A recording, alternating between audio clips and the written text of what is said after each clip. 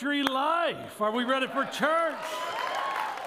Oh, man, uh, those, those were moments of just last weekend's baptism where 60 people had signed up for baptism, and it was our second baptism this year.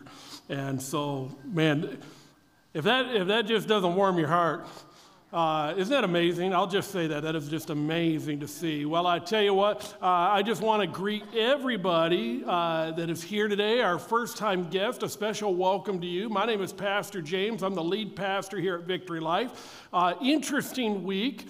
Pastor John, who helps with the service, he faded and uh, went out sick with the flu on Tuesday. No worry. Pastor Matt is my backup plan. And uh, Pastor Matt was supposed to preach today. Guess what happened to Pastor Matt? Out with the flu. And so, uh, so you got me. That's what I'm saying. And. so, uh, um, so on Thursday he called and he said, I'm out and I've got the flu too. So here's what we're going to do. I want to welcome everybody. Uh, I'm going to preach this service and then I've got to catch a flight to Washington, D.C. I've been asked by AIPAC to come down and help lobby this weekend and meet our congressmen and senators to lobby for Israel and some Israel uh, legislation. So, yeah, I'm going right into the lion's den, so be praying for me. So, I've got just enough time to preach the snot out of this service here, leave it all on the court. Maybe I shouldn't say snot when there's a lot of stuff going around. Bad choice of words. But anyway, this is the only one I'm doing, so I'm just going to leave it out here. But here's the thing we're going to film this and we're going to show up for the 11 o'clock and the 12:30. So let me just start by welcoming all our first-time guests, everybody that's watching online, and church. This time, help me welcome the 11 o'clock, the 12:30. Love you guys! You're awesome. Good, good, good. Well, uh, I'm just going to highlight also this Saturday, you know what's happening. Saturday night church is coming back. Five o'clock, five o'clock, and so we, we, we want to encourage you if, uh, if that works with your weekend better, we now give you that option. Five o'clock, it's going to be the exact same service. Uh, five o'clock on Saturday, starting this week, and then, um, and then we'll have the three services still on Sunday morning. So life is just getting better and better. You guys just keep inviting your friends and family. We'll keep doing 60 baptisms at a time, and uh, we'll figure out where the next service is added after that, okay? Good problem to have. All right, well, if you have your Bibles with you, let's click them on. Let's turn them on, uh, and let's go to Ephesians. Um, let me make this Ephesians chapter 4.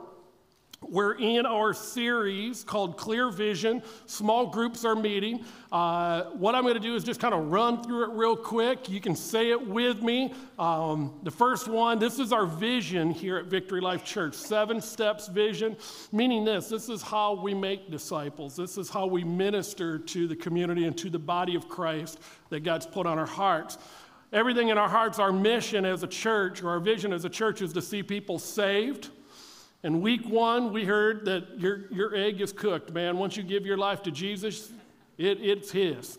And, uh, and, and also, this it is a gift. Don't try to pay for a gift, it cheapens the gift. And that's important because we're going to be talking about works today. So it's to be see people saved, healed. When does God want you healed? He wants you healed all the time. And here's the thing He heals today, and you will be healed 100% of the time. Just sometimes it's on this side of eternity, sometimes it's on the other side of eternity. But God still is in the healing business. Can I get an amen? Yes. Saved, healed, set free. Freedom isn't a, a moment, freedom is a lifestyle. He wants to see you saved, healed, set free, discipled. We, we, we looked at uh, discipled last week, and it's painful to resist, isn't it? He says, Paul, don't kick against the goats. It's painful, it hurts. And so when we want to do things our own way, it inflicts pain in our lives, not because of what God, uh, God is mad, it's because we're resisting the Spirit, and that can be painful in our lives. So now that we're caught up, saved, healed, set free, discipled, today is going to be equipped. Now, this is, this is really important on this one, and it's important to know that as we take a look at the role of what some would call works, salvation is free, But what we do with our faith, how we act out our faith, how we live our faith, it does make a difference. Equipping is learning how to build the character so that we can walk in the anointing and the victory of God. You, you look uh, throughout Scripture, and, and so I, I, look at this equipping as the framework that holds the victory of God or the presence of God. You got to build that framework. We see throughout Scripture when, when God's anointing surpasses people's character. And, and so maybe you're looking for a breakthrough in your life. This is going to be a key to build the character so that you can walk through that, that breakthrough in your life, that you can receive that. You look at Samson. Samson is in the Old Testament, an actual person anointed with supernatural strength. And, and Samson's gifting or anointing took him to a place where his character couldn't keep him. We see this all the time, don't we? People's success gets beyond their character and they implode. And so, to walk in all the fullness that God has, we need to build this framework called character so that we can walk in that. You know, even throughout the Old Testament, when did the people of God, the Israelites, stray from God? When things were going good. it's when things got bad, all of a sudden they realize we better repent and come back to God. God starts to bless them. What do they do? They drift from God again. Why? Because their character wasn't matching the plan or the anointing of God in their life. So, so here's where I want to encourage you. I, I want to show you the importance of being equipped and how to get equipped. You know, it's amazing. 70% of the people that win the lotto are bankrupt in four years. Why? Because they don't have the character, the disciplines in their life to handle the resources. Equipping is learning the discipline so that you can handle the resources or the things in your life. When the muscle cars came out originally, back in the early muscle cars, late 50s, they started to put speed under the hood, the, the big blocks. We get into classic muscle cars of the 60s. Then you got your Camaros, you got your Road Runners. You know what the limitation was? The limitation wasn't the horsepower, the limitation was the strength of the frame that literally they had so much horsepower it could destroy and rip apart the frame of the car. That it wasn't until the unibody chassis came in that the frame could now support the power. This is the difference between this week of equipped and next week is empowered. The frame is your character, so that it, if, if you don't have character, the power and the favor of God will just rip you apart. And, and so this is what we see from time to time. So we see it in Acts chapter 19. And I'm kind of moving at a good clip here because uh, of communion. I've, I've, got, I've got a two part sermon I'm going to give in 22 minutes. So. But in Acts chapter 19, I, I think it relates to a, a, a place that I've been a lot of times. And that is, uh, I, am praying for things uh, over my years of walking with Christ. There's times I was praying for things in my life, but I wasn't putting the work in to get it done. We, we, we, we want the empowerment, but we got to show up for the practice. I like what Joe Frazier said. The ring doesn't, the ring doesn't, uh, uh, the, the, the, the boxing ring doesn't make a champion, it simply reveals the champion. Meaning, it's the guy that showed up and put in all the practice. It's the guy that trained hard for it, and it's revealed when he gets into the ring. In Acts chapter 19, we, we, we see this priest and his sons called the sons of Sceva.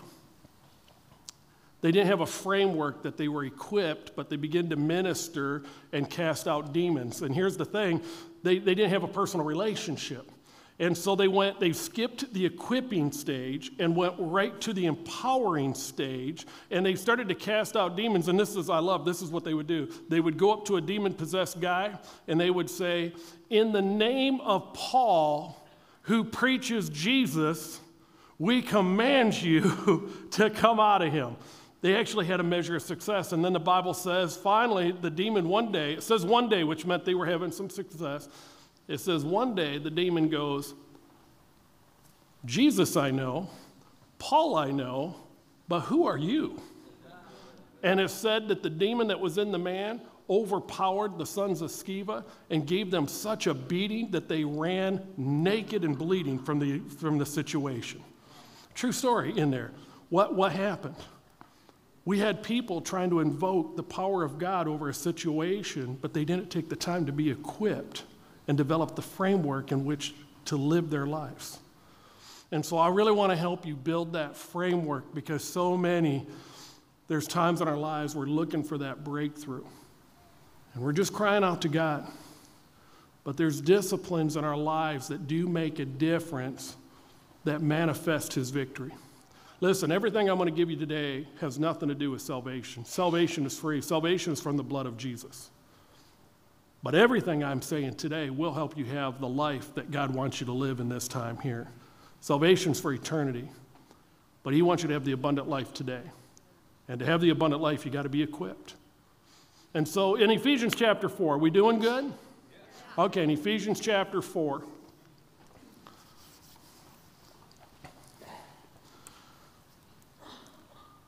It says, um, I'm going to read the New Living Bible first, and or I'm sorry, the NIV first, and then I'm going to give you the New King James because there's one word I want to focus in on there. But in the first verse, it says, As a prisoner of the Lord, this is Paul talking. And Paul, in the previous chapters, one through three, has given some truths to the people. You are the righteousness of God, you are sanctified by God. He gave them these truths, but now he's in this chapter. And in chapter four, he's going to switch gears. And he's going to go, Now that you have these truths, that's your framework. Now I'm going to show you how to start to apply these things, how to be equipped to live your life. And so he goes, As a prisoner of the Lord, I urge you to live a life worthy of the calling you have received. I want your life to look the same as who you really are in Christ. And, and so he goes, I urge you. Now, in the New King James, it, it says this I, therefore, a prisoner of the Lord, beseech you to walk worthy of your calling with which you are called. And I like the word walk because there's 10 different times in the, in the New Testament it talks about our walk, how we're to walk. He goes, I want you to walk this thing out.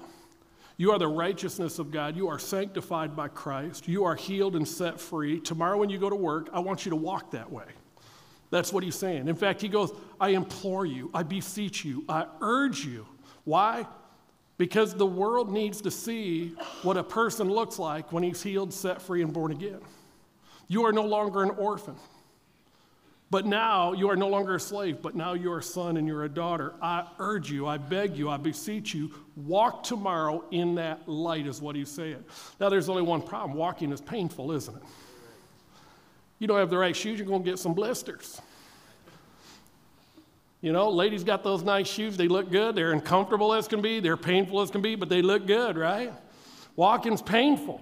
When you're learning how to walk, you fall. You, you, you scuff your knees. You, you bust a few teeth sometimes. You got to get back up and you got to walk it out. Walking's hard when you begin. If you never get up to give it a try, you never walk. The only way you learn it is to get out there and start doing it and putting one foot in another. If you fall down and you never get up again, you'll never learn to walk, that it's part of the process. And, and he's beginning to show you that the equipping measure of a believer in Christ, this is what life looks like. It's not tied to salvation, so when you fall, it's okay. You're still a son, you're still a daughter. Just get back up and start walking again. Because every time you get back up, you get a little stronger in your faith. Every time you get back up, you get a little more equipped than you were the time before. That a part of it is to, to fall and to get back up. Then there's times when your back goes out. You need some friends to come along and help you get up. I was walking one time, we were at the emergency room. I was, I, my, my back had seized up. And they took my blood pressure and they said, You're in a lot of pain. I said, Yeah, am. That's why I said that. And uh, he goes, Well, let's get you back and give you a shot. And he goes, Can you make it back? I said, I can make it back. And so we're moving real slow. I'm kind of going like this. And the, the nurse has his uh, finger in my belt loop. And just then I had a spasm and my knees went like this. And I felt him just kind of grab my belt loop and give me a wedgie and bring me right back up. I said, if we don't move for a moment, I think we're good. Let's just stay here for a moment.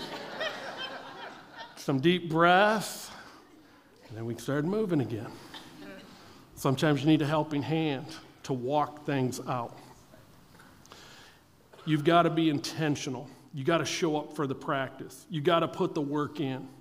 The disciplines of faith, disciplines of fasting, the disciplines of reading the Word of God. These are disciplines, but they equip us so that we can handle and walk into the power of God that He's trying to release into our lives.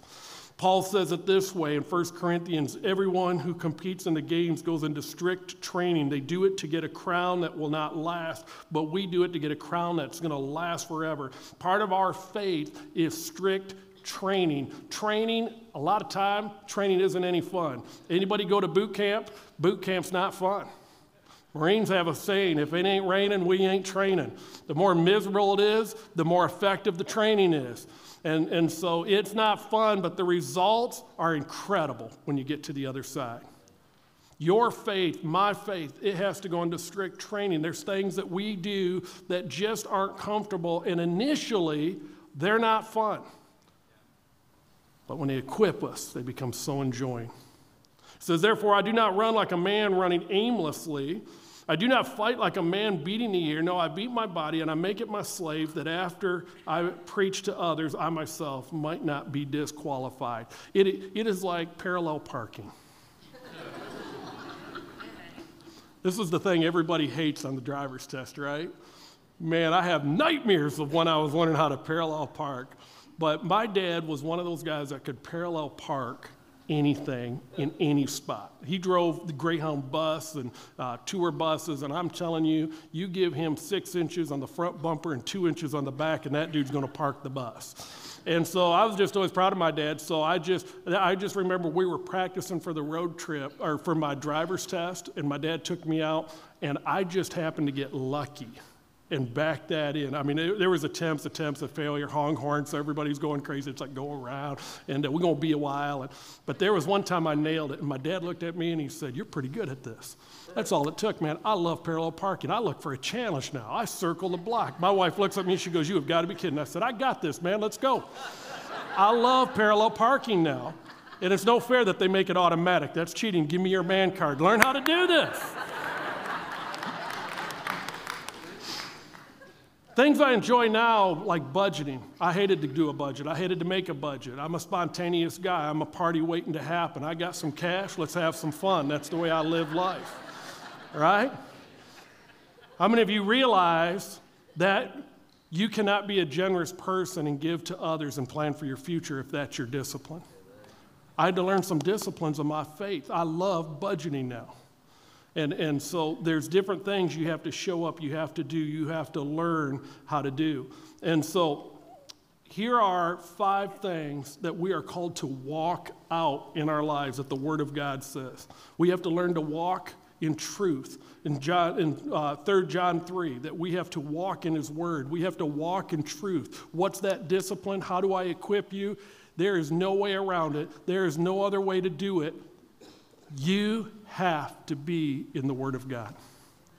My faith, my preaching isn't going to change much in your life. I can encourage you, I can inspire you, but only the Word of God is going to change your situation and change your life. It's a discipline, it's a hard discipline. Man, it took me years. I was a small group leader and I was still missing quiet times. I, I mean, I, I would, and back in my day, we didn't have these apps in the phones with reminders that popped up and you can just kind of scroll through your fingertip and pick a Bible study, whatever you were dealing with. Back in my day, you had to go to a store and buy a book.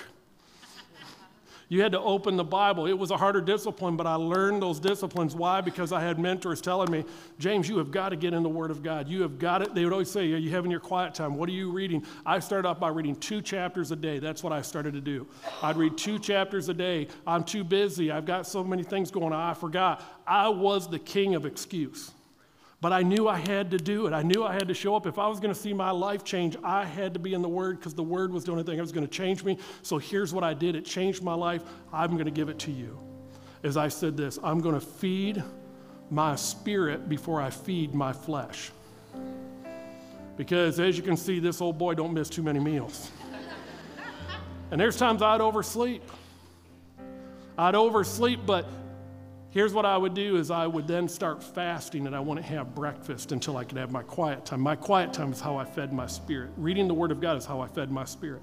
And so I, I overslept, bad on me. Guess what? No breakfast. Grabbed my Bible. I was in sales. I threw it, the Bible uh, in my uh, passenger seat and I started driving and I began fasting from physical food until I could eat the spiritual food. About lunchtime, I'd start getting hungry. Guess what? I found time to read the Word. Might surprise you, I didn't die of starvation. This busy guy finally found some time in his life, and, and, I, and I remember literally uh, in the drive through of Burger King smelling what flame boiled whopper, whopper coming out of the, the grill, right? Getting out of the drive through line, finding a parking spot, opening my Bible, reading my two chapters, feeding my spirit, getting back into the drive through to order my lunch.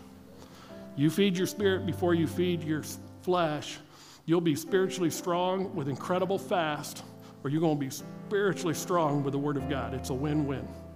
You got to walk in the Spirit, Galatians 5. And that is, you got to walk in the Spirit and overcome the temptations in your life.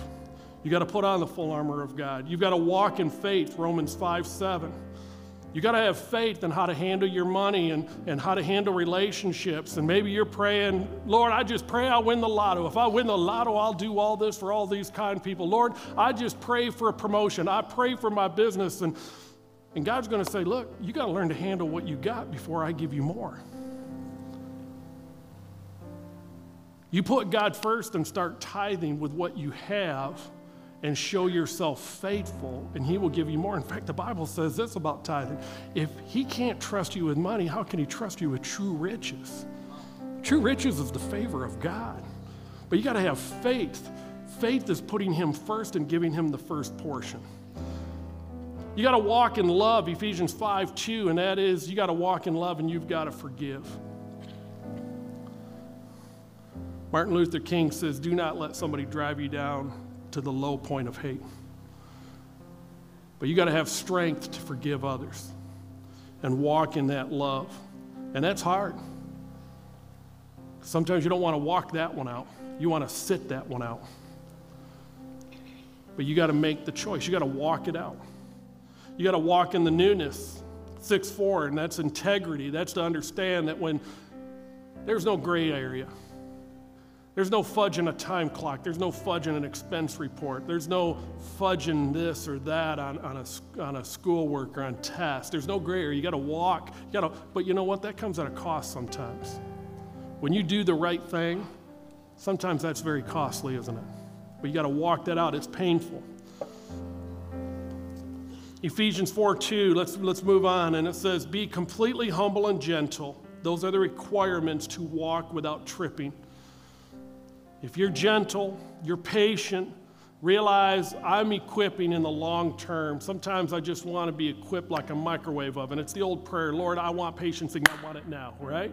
It don't work that way. It, it, this, is, this is the long game we're playing a lot of times. But you got to be patient. You got to be completely humble. That means you got to let people speak into your life and you got to receive that. That's how you get equipped. Ephesians 4 3 goes on and says, Make every effort to keep the unity of the Spirit through the bond of peace. There is one body, one Spirit, just as you were called to one hope when you were called, the one Lord, one faith, one baptism, one God and Father of all, who is over all and through all. What is Paul saying there? This is all you got, baby. It's your family. You can't trade your family in. Your family is all you got and it's the body of Christ. When you see these things,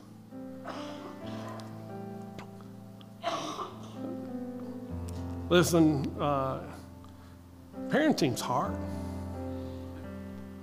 Being married, relationships can be hard. But if you want to equip yourself, I'm just saying one of the most fulfilling things in my life is my marriage and my kids. But it's hard. But if you equip yourself, you find the blessing on the other side. You got to show up for the drills. And if you see these things and you're saying, but it's just too hard, here's where I'm going to finish. Because on your own, it is too hard. And I'm going to even add this on your own with Jesus, it's too hard. That's why he said, Go and make disciples. We need each other. We need the body of Christ. He designed it that you need to be joined to the body of Christ. That's the way he designed it. It's, it's no slight against his ability, it, it's just that he values relationship with him and with one another. And so he gives special gifts to the body of Christ to help us because it is hard at times. And this is what he said It is he who, in verse 11, it is he who gave some to be apostles, some to be prophets, some to be evangelists, and some to be pastors and teachers. He's given those gifts, those people to the body of Christ to prepare God's people for the works of service. That works of service, it don't, it, it's not just usher and uh, you know children's ministry. Works of service is you going to work tomorrow. You know how God reaches people at Denso? He takes a priest, a full time ministry person, disguises them as an employee at Denso, and sends them in. See, our job is to equip the saints to do the work of the ministry. You're the saints. You come in here, you get equipped. The, guy, the way he's going to reach people at the federal center, he's going to take a full time priest, a saint, disguise them as a federal center employee, send you in to be the light and the hope and the encouragement to the world. That's how he does it. Listen, this is like the pit stops at the, at the Indy 500. This is Daytona, okay? This is the pit stops. You know, you get bumped into the wall, the driver doesn't come into the pit stop and go, It's crazy out there. I'm just going to chill here with you guys. what do you mean you're going to chill here? You're, you're a racer. Get back out there. Four tires, a splash of gas, go. I'll see you next Sunday.